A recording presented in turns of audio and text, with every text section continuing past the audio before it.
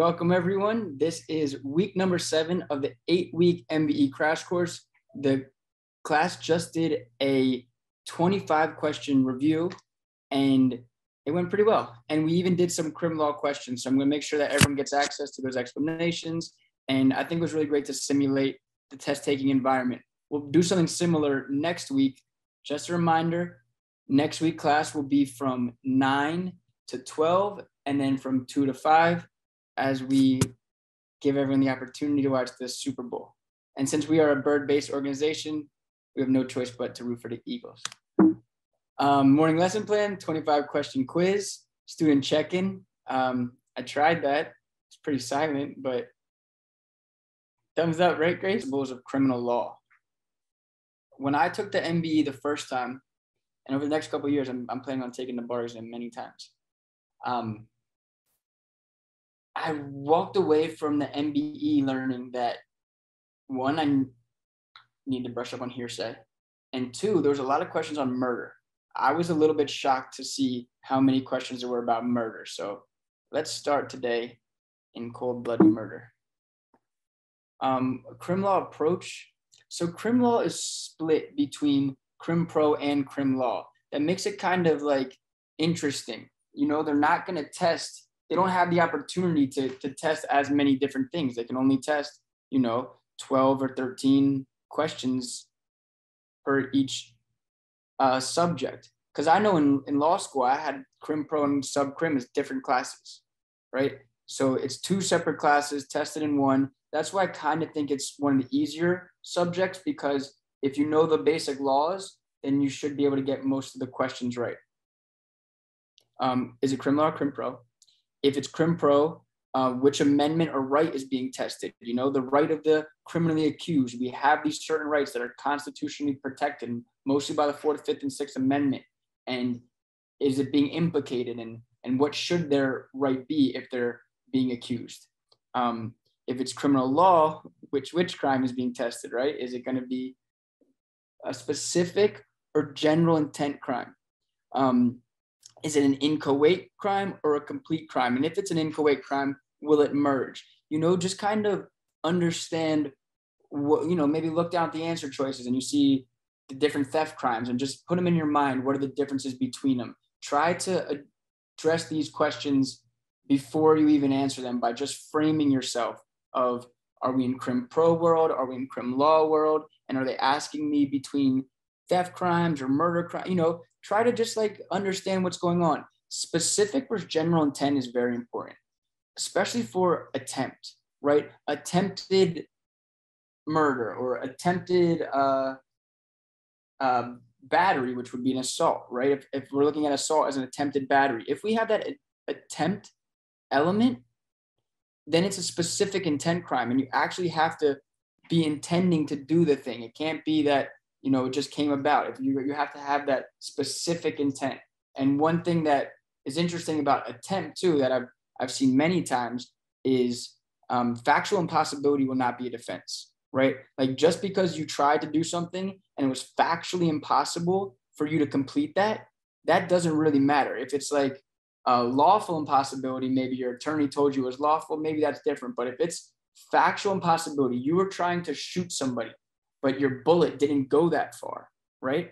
It's still attempted murder, even though your bullet didn't go that far, even though there's a factual impossibility. So kind of look for that for general versus specific intent.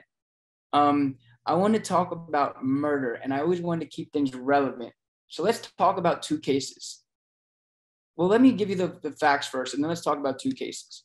First thing is all murders are homicides, but not all homicides are murder or murder, right? But not all homicides are murder, right? Do you understand what that means? That you could have a manslaughter killing, or you could even have just like a totally lawful killing that occurred, but still a homicide. A homicide is just a killing or an unlawful killing, whereas a murder has to satisfy these specific requirements. Murder is the unlawful killing of another human being with malice of forethought the main type of murder that we see, well, not the main type, but the type of murder that everyone knows is first degree murder, is first degree murder, right? This is premeditation. This is like I'm planning on murdering someone. I have it all in my head, and then I go to murder that person. What if I go on the way to murder that person and I take a few shots of, of whiskey because I'm trying to like, am I really gonna do it? No, I'm gonna do it. Let me take a few shots and then I go murder. Could I claim intoxication as a defense then? No. Why not?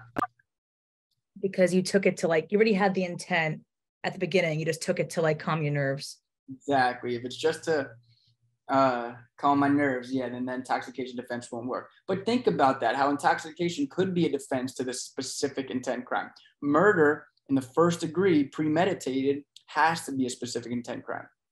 Or it could accompany an enumerated felony murder, right? Like uh, burglary or robbery or some type of inherently dangerous felony that a killing occurs during this felony.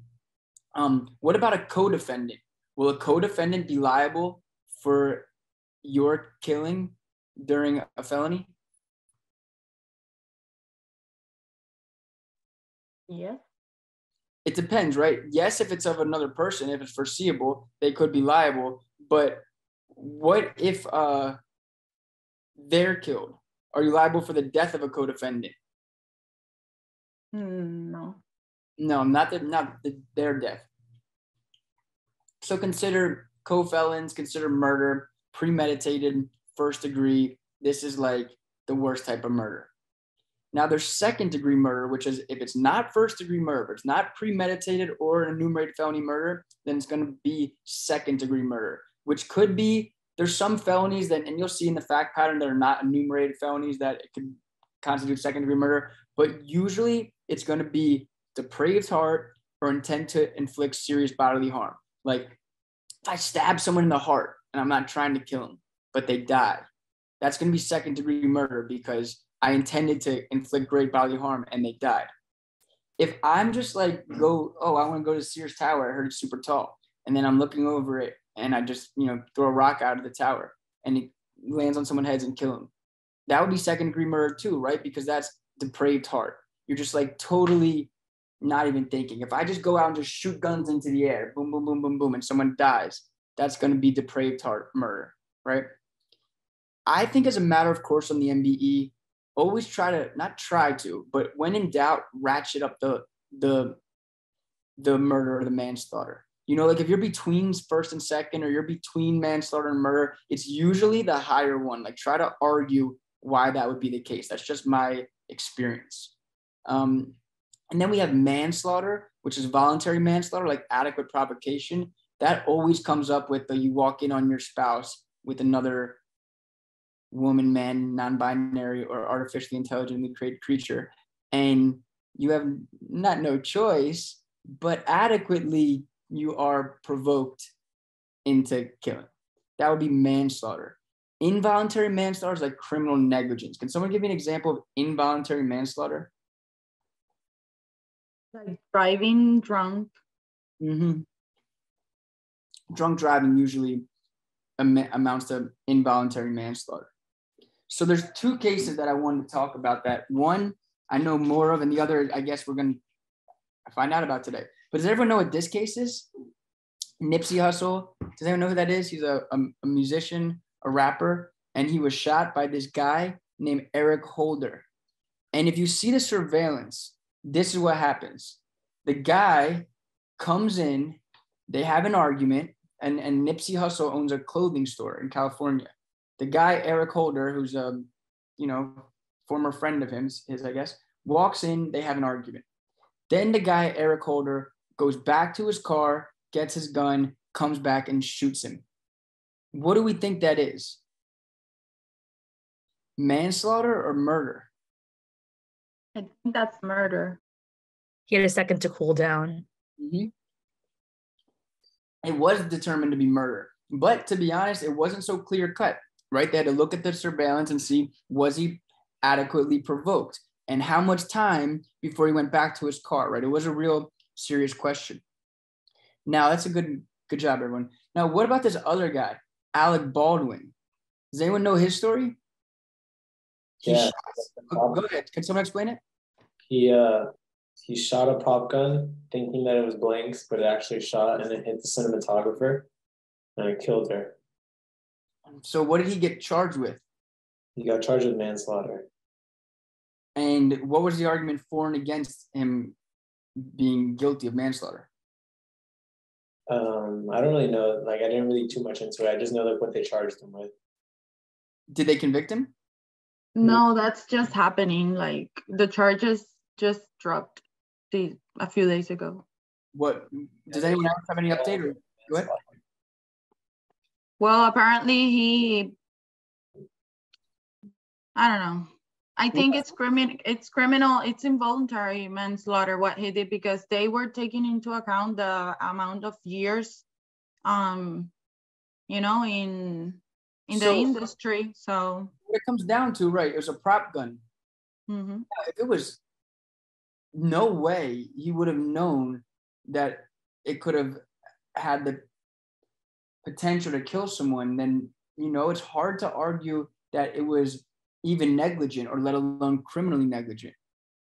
But then again, what kind of idiot points a prop gun at someone and shoots them? I mean, I don't know. That's kind of the argument. Like the what kind and also in his belt he had real um live bullets. So it's like yeah, I don't belt he had. I don't know the specifics of the case to be honest, but like it's a good argument here for is he gonna be convicted of some sort of involuntary manslaughter, right? Like he wasn't adequately provoked. It's not first degree or second degree murder. He has no deliberate premeditation, and it's not depraved heart or intention. There was no intention there. It could only have been involuntary manslaughter. And then the question for the jury that we're all, you know, I guess, gonna decide is the amount of negligence. Was he even negligent at all? If he wasn't negligent at all, then it really couldn't have been manslaughter, right? Like he did nothing wrong. He's like on a movie set, so you don't like just automatically think that the guns are not gonna actually shoot real bullets. So now Alita is saying in the chat that they did convict him of involuntary manslaughter. I don't think they did. I remember I we thought charged him like two weeks ago or something like that. Okay, sorry. Yeah, I thought so too. So Yeah, it says five days. I just googled it. It says five days ago that he will be charged with involuntary manslaughter. he will be charged with it, but not convicted of it, right? Or he will. That's what I understood that he was charged, but Yeah, as Alita is saying, there was somebody. There was the the gun prop um, person that was hired for the movie, who actually got convicted. I think. mm. Oh, the person who loaded the gun with real bullets. Yeah, that guy is going down. That thing, the problem for Alec Baldwin is that the prosecution is saying that it's known in the industry that you never do like point the gun. So you know, That's what I'm saying. Yeah, I don't know. It's a good argument. I mean, again, personally, I'm not a big believer in like taking people's freedoms away. Like, I don't think he meant it. We shouldn't throw him in jail. But like, I don't know. I'm not the long arm of the law. He did do something that, if the family really wants to see justice, then maybe he does deserve it. Me, I would never seek justice on other people. I'm good. But anywho, murder. We understand murder, manslaughter, pretty tough, but it comes up a lot on the exam, right? I mean, not pretty tough, but just make sure you understand it. In Florida, there's a third degree murder, and they, they could tell you on the exam what are the elements of third degree murder, right? It could be very fact, fact specific, where they give you a statute and you just have to kind of interpret it and see, you know, was there a malice of forethought? Was it intent to inflict bodily harm or a enumerated felony? Or was it uh, something different, voluntary and involuntary manslaughter. Let's talk about theft crimes. I think this is a good slide, right? I think this is a slide that helps people understand a lot of different theft crimes. At its core, larceny is like the simple theft. Like petty theft is larceny, the taking of another's personal property with the intent to permanently deprive. So, what if I'm in the store and I look at this? Uh, what was it that I want? A pair of shoes, right? Gucci shoes. And I'm like, yo, I'm gonna take these. And I grab the Gucci shoes, I put them in my hand, I start walking out the door, and then I have that little moment of truth where they're like, bro, that is not a good idea. Put these shoes back. And I put them back. Did I commit any crime? larceny. Yeah, you had the intent and you picked it up. hmm Okay. Now, what if I see my friend Grace walking by and she's carrying this Louis bag. And I'm like, yo, that's my Louis bag. I've been looking for that Louis bag.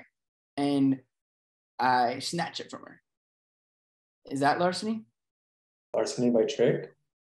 No, because you think that it's yours. No, I'm saying Recovering. I yeah, that's Grace was getting at what I was getting at. When I'm taking it back from her, it's not going to be larceny because you have to deprive someone of something that you don't think is you have the right to deprive them of. If you're simply recovering your own property, even in burglary or larceny, that's not going to be sufficient. It has to be you're trying to take something, and it just has to be a sufficient step. You don't have to actually even leave the store. So those are some elements of larceny that are interesting. What about um, let's see, false pretenses, obtaining title to another's property using false statements of past or existing fact with the intent to defraud. Whereas larceny by trick is obtaining possession of another's personal property using false statement of past or existing fact. Can anyone give me an example of larceny by trick versus false pretenses?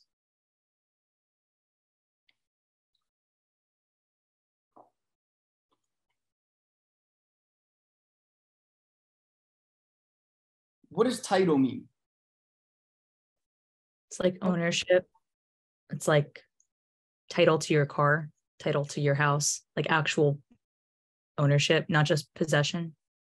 So if you trick someone to signing a document and they think it's, you know, a standard document, but they're really signing over title to their car, that would be false pretenses. You trick them into giving you actual ownership of it. If you just trick them into giving you the possession of something, you know, like, you know, uh, give me these uh, these items and um, you'll have good luck for seven years. You know what I mean? And then they give them to you, and you're like, "Ha, just kidding. Mine now." That's gonna be larceny by trick. It's got to be larceny by trick is very similar to larceny. It's just some trick involved. Larceny is very similar to robbery. It's just there's no force involved, right? These are all very similar crimes, but larceny is just taking. False pretense is obtaining title. Larceny by trick is obtaining possession. Embezzlement, fraudulent conversion of another's personal property by one in lawful possession. So embezzlement, you know, I already had like a uh, control of this. I, it was I was in charge of the account receivable, and then I just directed the funds to to me. You know, I did the the old Sam Bankman Fried or whoever is your typical embezzler of the day, right? That's what embezzling is. Robbery is forced larceny, wrongful taking another's personal property from his person or presence by force or threat of injury with the intent to permanently deprive. So simply put, assault or battery plus larceny, right? Now, here's the situation. Andrew, Mr. Big Bad Andrew, walking around the block, and I see someone uh, who has some cool uh, he has a, a cool bag. And I walk up to him and I rough him up and I snatch the bag. Now I'm being charged with robbery and larceny. Can I be convicted of both robbery and larceny in this situation? No. Don't they get merged? Or it's like a offense that gets merged into it? They're gonna be merged, and the reason why is because larceny or robbery contains all of the elements of larceny plus that additional element. So you're just going to get uh, convicted of the higher crime. You can't also be convicted of the lower crime, right? And then burglary. Everyone loves burglary. Burglary, the breaking and entering into the dwelling house of another at nighttime with the intent to commit a felony therein. So everyone knows that that is just the common law definition of burglary, right? How is burglary, can someone tell me, been modified in present day? Um, no nighttime. No nighttime. What else? It be something other than a dwelling. right, and something other than a dwelling house. So Mm, no breaking also.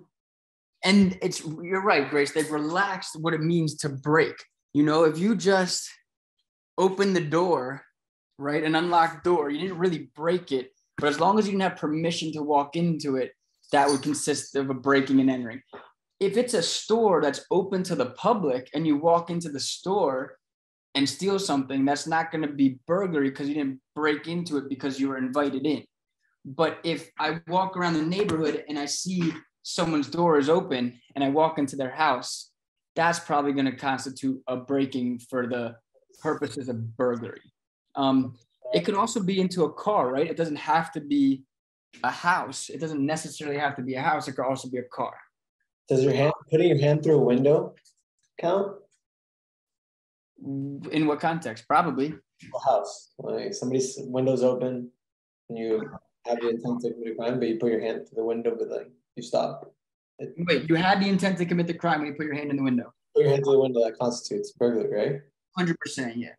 If I reach my hand into someone's house, whether or not I steal something or not, it's gonna be burglary, unless I had no intent to commit a crime. If I'm just reaching my hand in to feel how cool their house is compared to the sun, you know, outside, that's not gonna be burglary. But if I had the intent, that will indeed be burglary. And remember, same thing with larceny. If I burglarize someone's house to recover my own goods, that's not gonna be uh, burglary because I thought they were mine. Probably trespass, right? And remember, there's some torts like trespass that can also be criminal. Criminal trespass, assault and battery, right? Could be uh, a tort or it could be a crime. In fact, look at it right now. Look, we got um Dana White right here. So assault is as a threat is a general intent crime. Assault as an attempted battery is a specific intent crime, and battery is an unlawful application of force to the person of another, resulting in bodily injury or offensive touching. So assault as an attempted battery is a specific intent crime. Does anyone know, and I explained this earlier, why that's important about assault? You can't use intoxication as a defense. Right. There's a lot of things you can't use as a defense because you have to have um, the specific intent. No, I'm sorry. You can use you can use intoxication as a defense to assault as an attempted battery because you couldn't have formed the specific intent to do something if you didn't have the capacity. What are some other crimes that require specific intent? Does anyone know?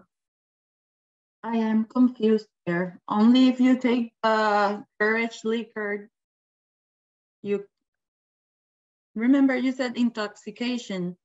Right. So specific intent means that you have to have the specific intent to um, to complete the crime, not just the general intent. Like you know, battery is a general intent crime.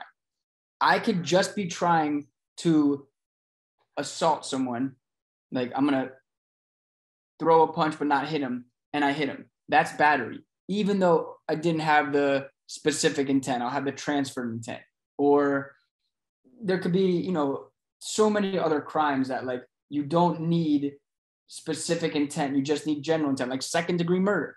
Think about first degree murder versus second degree murder. Second degree murder, you do not need specific intent.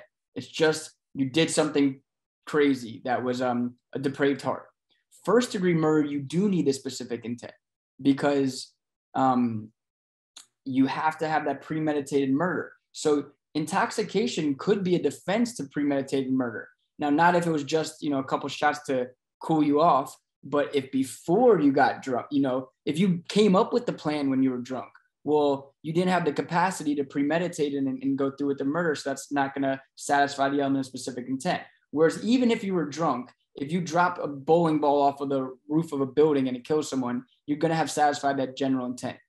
Whereas same thing with assault versus battery. Assault, if it's an attempted battery, it's a specific intent crime. You have to have the specific intent to assault someone. It can't be like you flailed your arms and, and almost hit someone. You weren't trying to do that, so it, it wouldn't be necessary. It's just something to know in the fact pattern. Again, like I said earlier, attempt is specific intent. You have to actually have the intent to attempt to do what you're doing.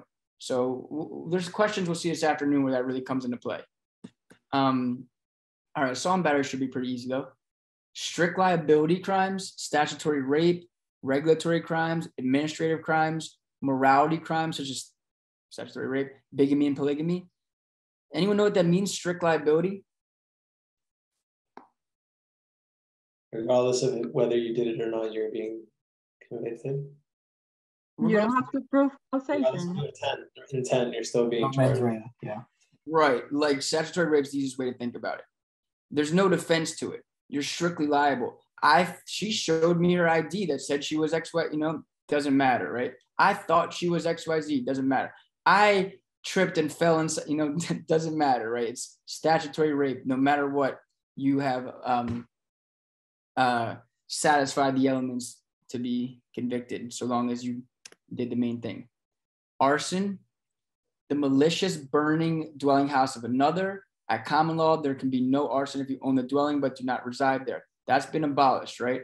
Um, on the MBE, it, it doesn't have to be where somewhere else lives. It could be any dwelling house, even where you live. Most people these days, good old good old fashioned arson, it's on your own house, right? And to collect the insurance. If I would guess, right? So that it, we've taken away that you can commit arson on your own house. Malicious with the intent or extreme recklessness, burning requires some damage to the structure caused by fire. Damage from smoke, water, explosions is not sufficient at common law. The dwelling house of another, but at common law, it doesn't have to be the dwelling house of another. And then damages are required. There must be charring or something more. Discolorationing, discoloration or blackening is insufficient. Anyone have any insights about arson from any questions they did? Or in general, any insights about assault, battery, theft, crimes, homicide at this point? I think that's the best way to go about criminal law. Any insights from any questions that we've done? Nothing really? Um, I did a question today, actually, in the morning, that was the guy went into went into a place wanting to commit arson, but then was lighting a match or stop. And then lit a match, but his reflex like was to use he lit the match in the purpose to read something. And um and then his reflex he dropped the match and it fell and then it started burning and then he could have stopped it, but he didn't. Right there, it was arson when he didn't Yeah, stop right it. there when he didn't stop it. That's when yeah. Yeah, I can see that. I can see that fact pattern as you said it. I knew it was about to happen. Yeah, like if you didn't have the intent and it was just your you you dropped your cigarette and then it blew up, you're not gonna become liable or guilty of arson. But if you had the intent and then you saw it about to burn and then you didn't do anything about it, you didn't put it out, definitely arson. Anyone else have any I like that? Any um insights, assault, battery, theft, homicide from questions you remember? I have a question. What's up, Petey? So for arson, let's say uh uh someone uses a Molotov cocktail to like, you know, uh throw at another person or something like that. Would that be arson?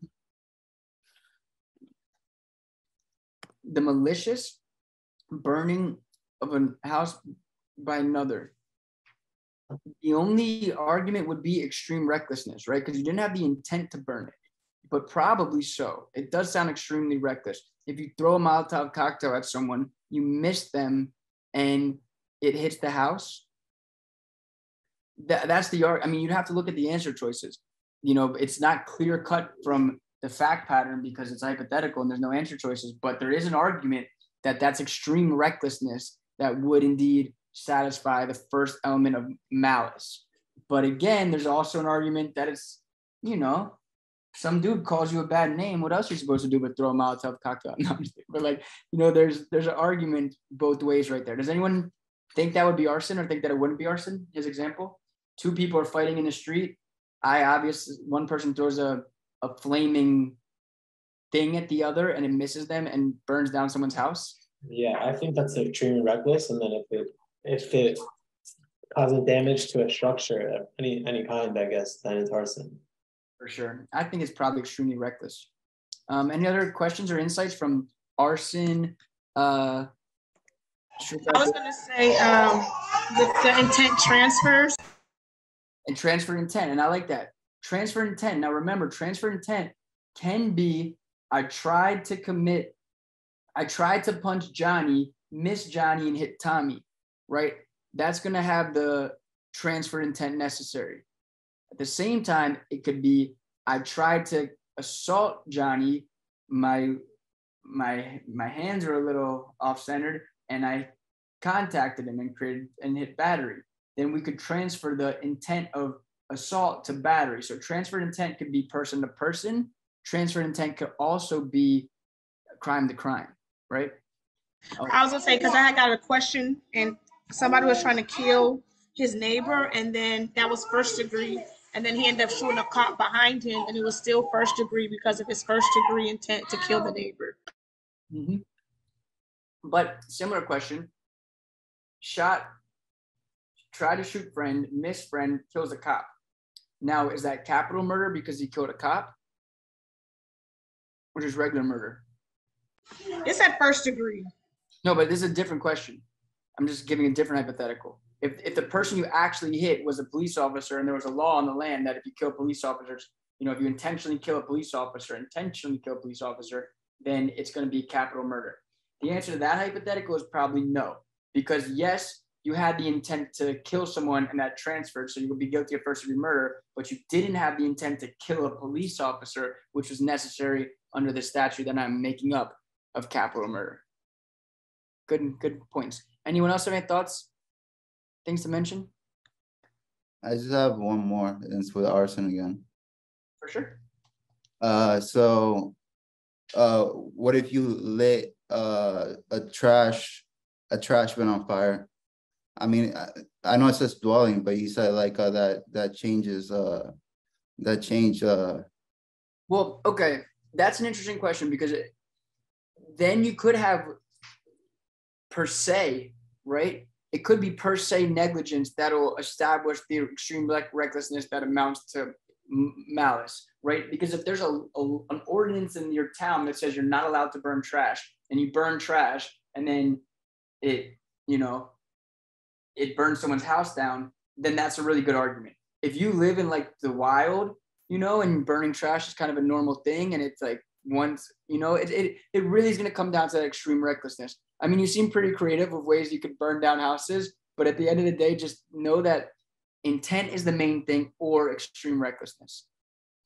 Any other questions from anyone? Yeah, thank you, man. Definitely should have your rapper name be something related to arson. Um, all right, inchoate crimes. We know what this means. The in show ade crimes? No, the inchoate crimes. Attempt, solicitation, and conspiracy. Remember that attempt and solicitation. Oh shoot! Attempt and solicitation will merge with the completed crime. That's the don't. this slide needs to be updated. But attempt and solicitation will merge with a completed crime. Conspiracy will never merge. Please know that this was just to see if anyone was paying attention, and luckily I was. That conspiracy will not merge, right? Attempt and solicitation will merge. Attempt is just like um, I tried to shoot someone, I missed them. Solicitation is like, yo, Johnny, can you kill this person for me?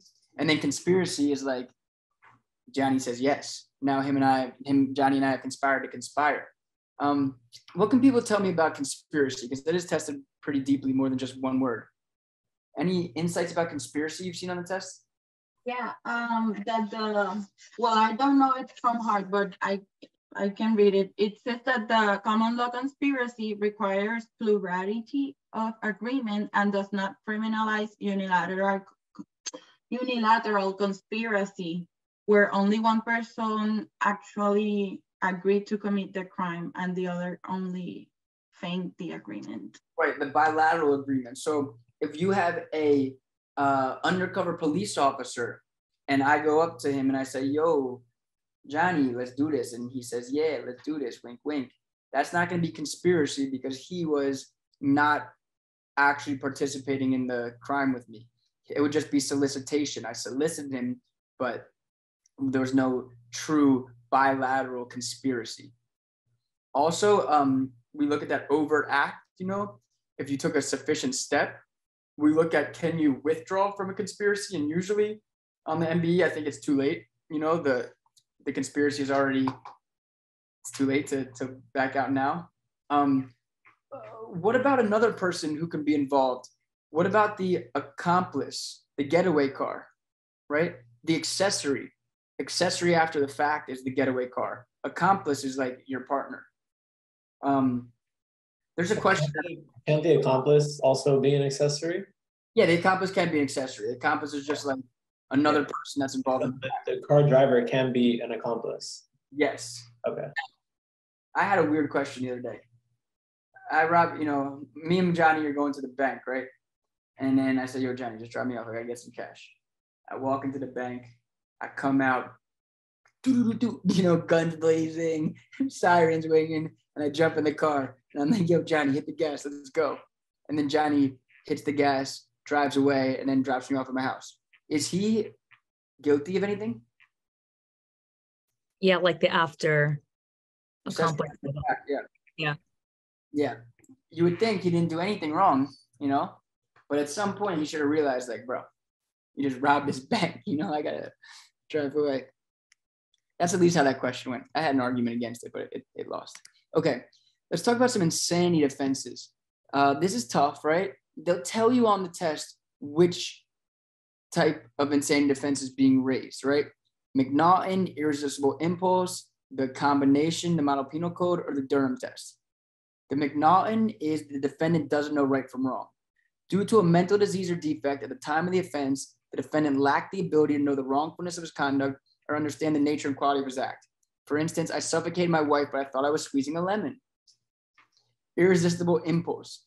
Defendant acted because of an impulse he could not resist. Due to mental illness, defendant was unable to control his actions and conform with the conduct of the law. Irresistible impulse is you were unable to control your actions. McNaughton is you didn't know right from wrong. The model penal code is a combination.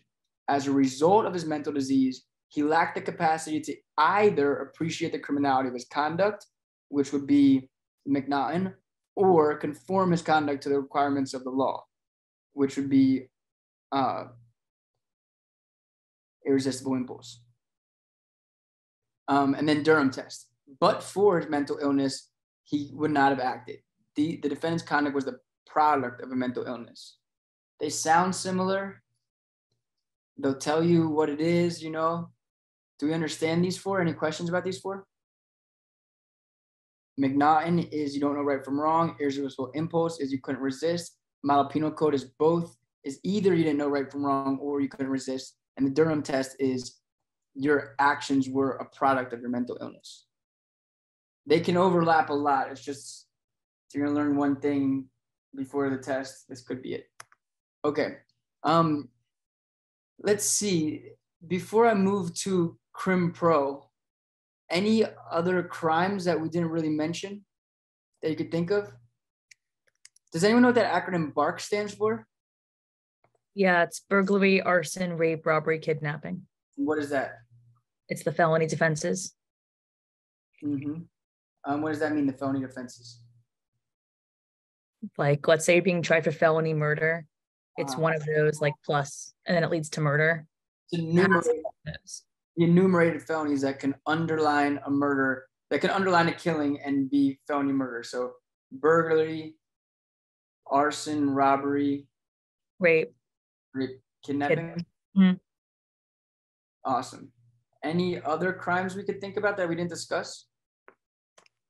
Inchoate crimes, arson, strict liability crimes, assault battery, theft crimes, murder, manslaughter, homicide. Like I said, there could be some criminal ordinances, criminal trespass, criminal contempt, criminal XYZ, but I think those are the main crimes, right? Any anything on anyone's mind? Any crimes you want to talk about? All right, let's talk about quickly and then we'll go over some other things. The amendments. So at first I started off with the fourth, fifth, and sixth amendment. Just let's read them. The Fourth Amendment, the right of the people to be secured in their persons, houses, papers, and effects against unreasonable searches and seizures shall not be violated, and no warrant shall issue but upon probable cause supported by oath or affirmation, and particularly describing the place to be seized and the persons or things being seized. This is the reasonable expectation of privacy. It stems from the Fourth Amendment, right? So, you know, if somebody breaks into your house to find evidence that's going to be a violation of the Fourth Amendment. If someone looks over your fence and sees that you're growing some plants that you're not supposed to grow, that's probably not a reasonable expectation of privacy because your neighbor could have looked over, right? You don't really have a reasonable expectation of privacy from a aerial view of your house. Now you do have a reasonable expectation of privacy if they're using some sort of uh, equipment like to get penetrate the walls and, and thermal scan the inside. You know, if it's like if it's something that's absurd, then you don't have a reasonable expectation of privacy. There's like there's limits to this, you know, like they can't, the phone company ca- or, you know, the court can't ask the phone company to get all your locations over the past year. You know, that's too voluminous and it's an invasion upon your privacy. Um, there's just certain aspects where maybe this right can be uh, diminished, but overall, you do have a right to privacy. That's all stems from the Fourth Amendment. Um, I'll go to the Fifth Amendment and the Sixth, and we'll jump back. The Fifth Amendment no person shall be held to answer for a capital otherwise infamous crime unless on presentment of indictment of grand jury, except in cases arising in the land or naval forces or in the militia when actual service in time of war, public danger, nor shall any person be subject for the same offense to be twice put in jeopardy of life or limb, nor shall be compelled in any criminal case to be a witness against himself, nor be deprived of life, liberty, or property without due process of the law, nor private property be taken for public use without just compensation. So you see the Fifth Amendment, actually a lot stems from the Fifth Amendment. Um, one, the takings clause. Two, due process, de- deprived of life, liberty, or property, right? But then for criminal law, we see shall be compelled in any criminal case to be a witness against himself. So I plead the fifth. You know, if anyone ever watched the Chappelle show, that was one of his famous skits. I plead the fifth means you don't have to incriminate yourself. Shall any person be subject for the same offense to twice put in jeopardy of life or limb? So in civil procedure, we talked about claim preclusion, issue preclusion. Criminal law, we talk about double jeopardy. And we actually had a really good album from Alita. Uh, double jeopardy, can't catch me twice. It was like a playoff of uh, Catch Me If You Can, but that's from the Fifth Amendment as well. Um, so, yeah, we get a lot of, of good things from the Fifth Amendment. We also have the Fifth Amendment is going to give us the Miranda rights. Does anyone remember what the Miranda rights are? Can anyone recite them like a 21 Jump Street? 32 Jump Street. Right, should remain silent. Um, anything you do can and will be used against you in the court of law, and you have a right to an attorney. Mm-hmm. So, when are people read Miranda rights? When there's a cus- uh, custodial interrogation, And can you give me some insights about when you're in custody and when you're not in custody? you're in custody when you feel like you can't leave. So more specifically, what's a what's a like a you know an example where people may think they're in custody but they're not, or vice versa? Uh, you're in custody when like you're in the back of a police car. And Are you're you- not if you're just like detained briefly, like on the side of the road. What about when they pull you over and you know, hey, may I see your license and registration? No, you're not in custody yet. What um anyone else have any insights about times you're not in custody that you might think you would be? Um, the same thing what y'all saying, like, uh, like when they pull you over, uh, for example, for me, like they, they like just pulled me over once and just took off the key of my car and just like pulled me out of the car quick, quickly and put me like in, uh, what's it called, in, in the sidewalk. Mhm. So, yeah. So there you would be in custody. Once they've taken you out of the car, you're on the sidewalk, and then they say if they start asking you questions, before they start asking you questions about whatever you're being, you know, potentially uh, accused of, they would have to read you your Miranda rights. And if you unequivocally say, "I want to see my lawyer," or "I'm not saying anything," then they have to stop all questioning. I thought I thought the driver and passenger were allowed to be taken out of the car, um, like law, um, subject to like a lawful um pullover or something like that. Right. I was kind of jumping to a more of an arrest. Like they're on the sidewalk, he said, and you know, maybe they're doing questioning that is uh more um more uh substantial. But what are some what, what is that called if they're just doing a pat down of someone? If I'm just walking down the street and they want to pat me down, does anyone know what that's called? A Terry stop. Um, um, Yeah, Terry stop. And what are they really allowed to look for? Um, um, Weapons? yeah, weapons. It's really for weapons. All right, let's look at the Sixth Amendment. We'll, we'll jump back at all this stuff. Don't worry. In all criminal prosecutions, the accused shall enjoy the right to a speedy and public trial by an impartial jury of the state and district wherein the crime shall have been committed, which district shall have been previously ascertained by law, and to be informed of the nature and cause of the accusation, to be confronted with the witnesses against him, to have compulsory processes for obtaining witnesses in his favor, and to have the assistance of counsel for his defense. Wow, just the use of all male. No, I'm just kidding. Um, right, that's a Sixth Amendment. So Fifth Amendment is your right to counsel before adversarial proceedings have begun. Sixth Amendment is your right to counsel after the, the proceedings have begun. Um, I want to step back to the exclusionary rule and the fruit of the poisonous tree. The exclusionary rule prevents the government from using most evidence gathered in violation of the United States Constitution. If evidence that falls within the scope of the exclusionary rule led law enforcement to other evidence which they would not have otherwise located, then the exclusionary rule applies to the newly discovered evidence, subject to a few exceptions.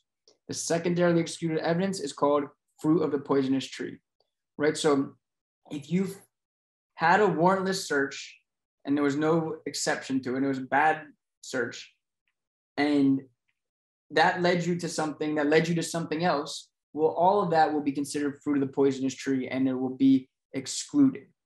That's the exclusionary rule. Um, exceptions to when you need a warrant, this is important, right? Search intent to arrest, the plain view doctrine, the automobile search, valid consent to search, exigent circumstances, and like we just talked about, stop and frisk. Exigent circumstances, they test on the MBE. The police think that they're, you know, have a drug ring going on on, on room 407B.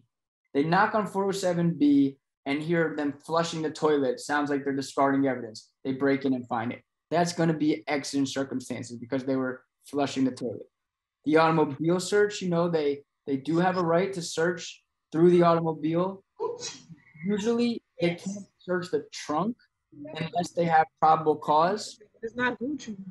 Is um, they can't search the trunk unless they have probable cause, but they can search everything else. Um, and especially the plain view doctrine comes in. If you you know have a warrant to search a house and you're looking for you have an arrest warrant, right? I'm I'm arresting this person. It's not even a search warrant. But as I'm making the arrest, I see something in plain view.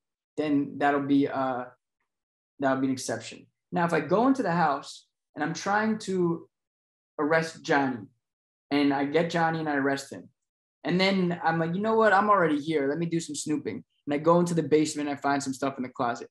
That's going to exceed the scope of the warrant, right?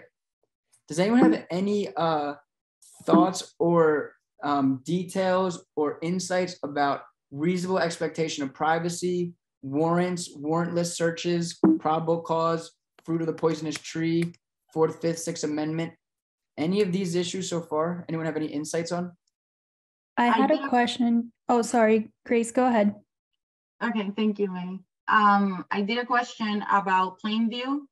Um, but the police trespassed the, to the neighbor's, you know, to the suspect's neighbor, um, property. And from the neighbor's property, they could see plain view, whatever was going on, but that's wrong. But You that's- know, yeah, it, it's wrong. Police can, the evidence could be suppressed because the police trespassed to the neighbor, didn't have permission from, they couldn't see from the street in the public, public street. They trespassed to the neighbor's backyard. Right, but what if the neighbor would have given him permission? That, that's different. If Okay. the neighbor gave permission. What uh any other insights from fourth, fifth, sixth amendment? Or May, you had a question, right? Yeah, no, I, I'm, I don't have a question. I meant like I had a, a practice question that I did, um, that I got wrong. It was about, um, basically the point was you don't have a reasonable expectation of privacy in like your farm fields, even if they're fenced in.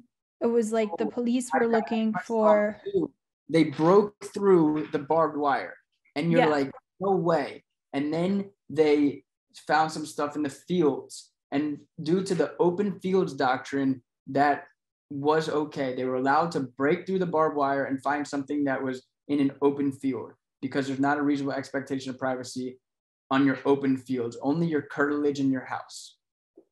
So, Barns e- are also in that exception too, right? what'd you say? Like a barn, like stuff that's inside a barn, you don't have a reasonable expectation of privacy for that, right? It's not your curtilage. It's not your curtilage, exactly. It's in the open field, exactly. Yeah. So they could potentially search your barn. Yeah, so like if you have marijuana in your barn, Mhm. government goes there. It's No. considered field, I. I, about a barn is the thingy that you have in the backyard to, what's a barn? I'm thinking about like the little house to Yeah, like a for storage. Yeah, no, that's a shed. A barn is for Oh. farm, and it's more. It's bigger than a shed. It's literally on a farm, and it's like a big old where hay and horses live and stuff. Well, I saw one question where the, the police had a reasonable, um, how do you say that? Reasonable, They had a they had an exception to a warrant. Um, no, they, they thought that this person was, um, hiding as, uh, on, you know, someone they had a warrant for. So a, a warrant to arrest, Yeah. not to search. So they opened the shed and yeah, the person was there hiding. and it was okay because the shed was outside the curtilage of their house. It was inside the house of the person they were, um, but they got into the house with permission of the owner of the house. They just suspected like, no, he's hiding there, you know, because it was locked from the inside. So they were like, that this is weird. So they opened up and it was okay because they had the warrant for arrest of the person they were looking for and the, and they enter into the house with the permission. And you know what else they had? Most likely, probable cause that he was there. Because- That's the word I was looking for. Okay, great. So we have fourth, fifth, sixth amendment. Any other uh, questions or concerns before we move on a little bit? Um, that's a lot of crim pro comes down to. Um, grand jury proceedings, they're secret. The suspect has no right to confront witnesses or be at the proceeding. Witnesses are not entitled to Miranda warnings. Witnesses may not challenge a subpoena, but they may refuse to testify under the Fifth Amendment. So you still get your Fifth Amendment rights at grand jury. The exclusionary rule does not apply. For instance, an indictment can be based on evidence that would be inadmissible at trial, right? The rules of evidence do not apply at grand jury proceedings. Um, then I think this is the last Crim Pro slide. And again, before the cram guide details, we'll go over all these questions this afternoon. We're gonna have an amazing afternoon session. I wanted to keep the PowerPoint uh, brief as possible. But jury size and selection, jury size and unanimity, jury must contain at least six jurors. There's no constitutional right to a unanimous verdict. However, a six-member jury verdict must be unanimous. So um, the jury composition requirements, the jury pool, the venire must be representative cross-section of the community. The actual jury does not have to be representative as long as the pool is representative. You have a right to an impartial jury. The defendant can question potential juries on possible prejudice relevant to the case. Racial biases, feeling on the death penalty, ability to follow the law is written if they disagree with it. The defendant can challenge for cause based on prejudices and has unlimited challenges for cause relevant to the case. Peremptory challenges cannot be used to exclude jurors on accounts of race or gender that violate equal protection. All right. Again, there's Crim Pro, a lot of stuff we could have talked about. I just want to make sure that we're good on the fourth, fifth, sixth amendment, probable cause, warrants, exceptions to warrants, and um, you know the main issues that are going to come up. But we'll see on these cram guys exactly what we can expect. So, Andrew, yes, that's me. All right. going back to the jury uh, question for a second. I had a question where if the party stipulated to a non-unanimous jury and it was six members, that was allowed because the party stipulated to it. Right. If they stipulate that it's allowed, exactly. It must be unanimous unless the parties consent to a non-unanimous jury. Right. Yes. All right, let's look at some cram guide information. A person is guilty of attempted murder when she takes a substantial step, mere than more than mere preparation toward completion of that crime with the intent that the murder takes place, right? Attempted murder is a substantial step more than the mere preparation. If a person is drugged and uncontrollably hits someone, it is not battery because they not did not have the intent to commit the act that resulted in the offensive touching. Right? They were basically hypnotized, they were compelled. If a robber asks a maid to leave the door so he can rob the house, and the maid pretends but calls the cops, the robber can be found guilty of solicitation but not conspiracy under the common law bilateral requirement for conspiracy, since the maid never agreed to partake. Grace, that's exactly what you said. If a robber tells a clerk, Give me the money or I'll hurt you, and she faints and hits her head, this is attempted robbery but not assault because there was no overt act and words alone are insufficient. This is a tough question. Give me the money or I'll hurt you. And she faints and hits her head. That's attempted robbery, but not assault. It sounds like assault, right? But words alone are insufficient to be assault. There would have to be a little bit of a flinch, you know? If you know that you are buying stolen property, but you don't partake in the stealing of the property, you cannot be convicted of st- conspiracy to steal since you did not have any involvement in the theft. What can you be convicted of in that situation? Receiving stolen property. Receive stolen property. Perfect. Strict liability. Statutory rape and offenses regulatory nature intended to prevent public harm. For example, laws about food safety levels are likely strict liability, right? That would be a regulatory example. Statutory rape is another great example. So, you know, good pointers on this slide. Um, Em, you mind reading this slide? Sure. Um, if a neighbor goes out of town and leaves you the keys to enter the house and you have a party and someone steals money, the thief is guilty of larceny and you are not guilty of any crime. You are just a terrible neighbor. So in that situation, what happened? You were given permission to babysit a house, and then you decided to have a party in the house. Well, you haven't committed any crime because you had permission to babysit the house and invite people. But the person who comes to the party and steals money is certainly guilty of robbery or of larceny. It wouldn't be robbery unless there was force. It's just larceny. Good job, man. Thanks. Uh, should I continue? Yeah, you can do the next the next four. Burglary is a specific intent crime. It requires the intent to commit a crime therein, meaning if someone breaks into a building with no intent to commit a crime and then decides to commit a crime, it is not burglary. The intent to commit the crime must exist at the time of break in. Nice. Usually, the firing of a warning shot or something similar will constitute second degree murder because it is a reckless disregard for human life. Just like we discussed. A defendant will only be held criminally responsible for the foreseeable consequences of her actions. For example, if a teacher makes a joke about student and the student commits suicide a year later, this is not manslaughter as the suicide was not a foreseeable consequence of the teacher's joke. Yeah, be careful. Teachers are sensitive too, you know.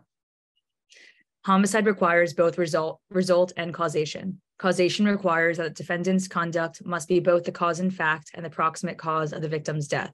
For example, even if a dad is starving his child, but the child dies of untreatable cancer, the starving will not be the proximate cause of the death.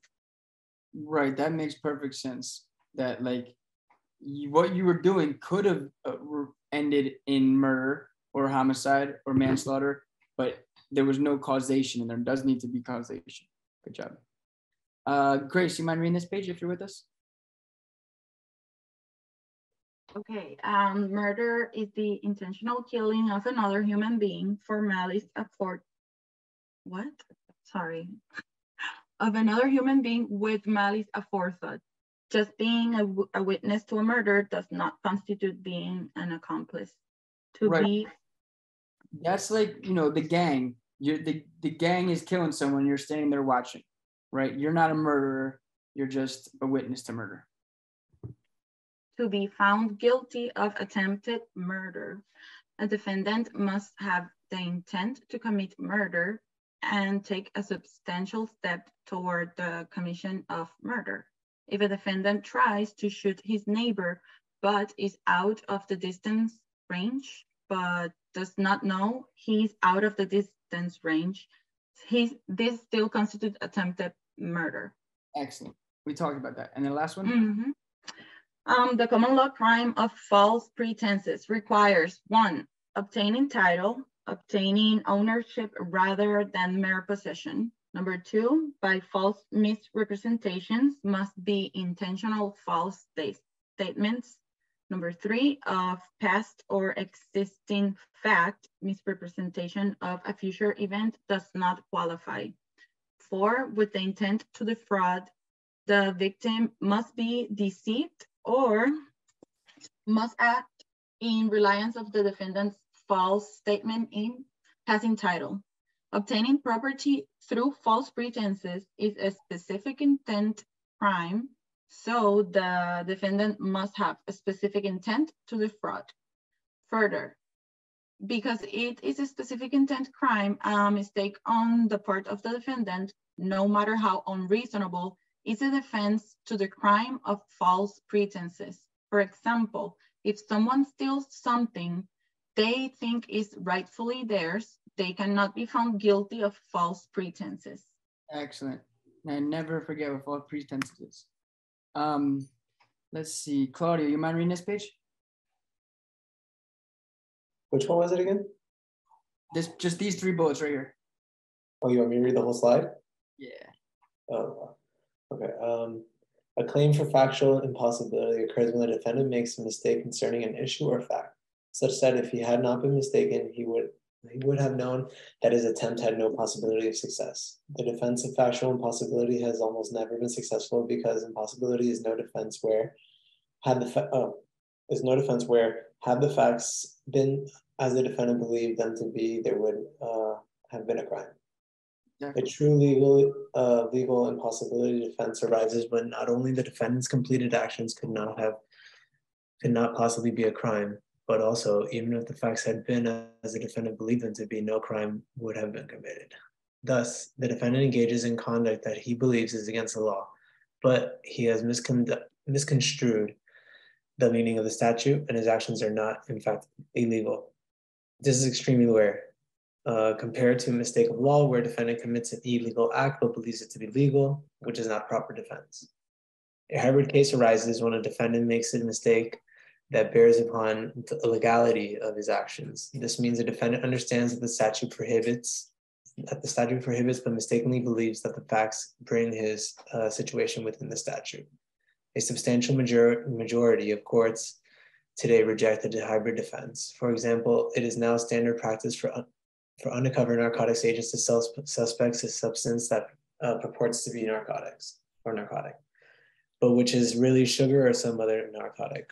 If the suspect makes a purchase, he will most likely, he will almost certainly be convicted of attempted possession of narcotics. Sorry, my dog was like jumping on the thing on the last one. Sorry, my life. But well done. This was all insights about factual impossibility, legal impossibility, and the hybrid case. So you can jump back to that slide if you want more insights. Um, and uh, P, can you read this page? Yeah. Uh, if you shoot a person intending to inflict harm and they die, you can properly be convicted of murder because you intended to inflict great bodily harm and it resulted in a killing. Uh, if you pickpocket a drunk person passed out on the street, you are guilty of larceny, even if you give up the property when you hear the police coming. Right, but you're not guilty of robbery because they're passed out. Uh, drunk driving through a playground to watch the kids run by accidentally killing one of the children constitutes murder under the reckless disregard and indifference of human life theory. Shooting a bullet at your neighbor's house because they are having a party and killing somebody at, at the party also constitutes murder on, under the same theory as above larceny by trick, larceny by obtaining possession through false statement or deception, false pretenses, similar to larceny by trick, but must obtain title. Uh, awesome. Um, and just uh, one thing I wanted to show for the last two minutes, and then we'll call it a day. Um,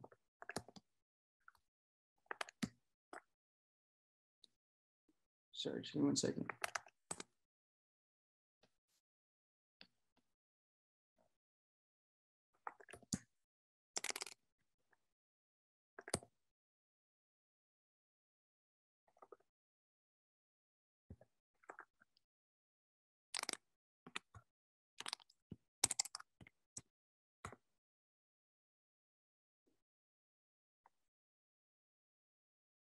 Um,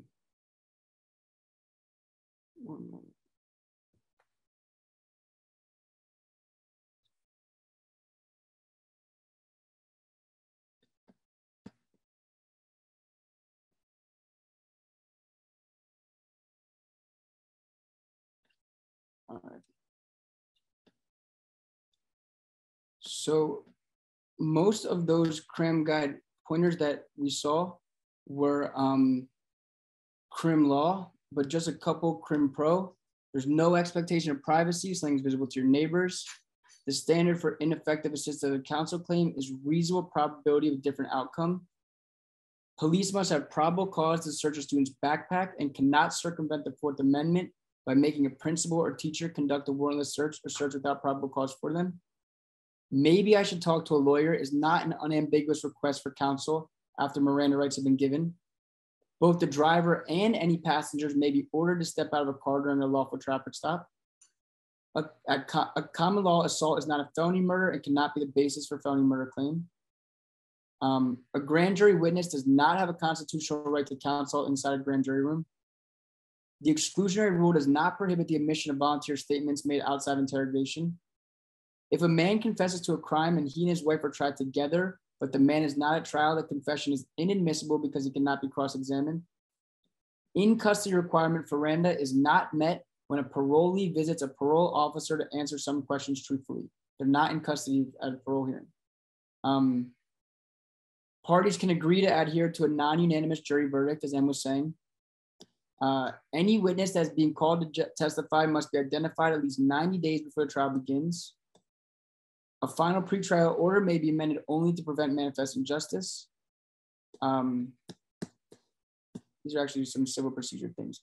And then the very last one of the day, um, if someone is convicted of murder, they can later be charged with armed robbery ar- arising out of the same event, but is a different crime with different elements and therefore not barred under double jeopardy. Now, on the flip side, if someone was charged and convicted with armed robbery, they cannot be later charged with murder because it's a higher crime. So I just wanted to make sure that everyone got a little bit of Crim Pro before we ended the session. But we're going to come back this afternoon. We'll do tons of Crim Law, Crim Pro questions. I hope you enjoyed today's session.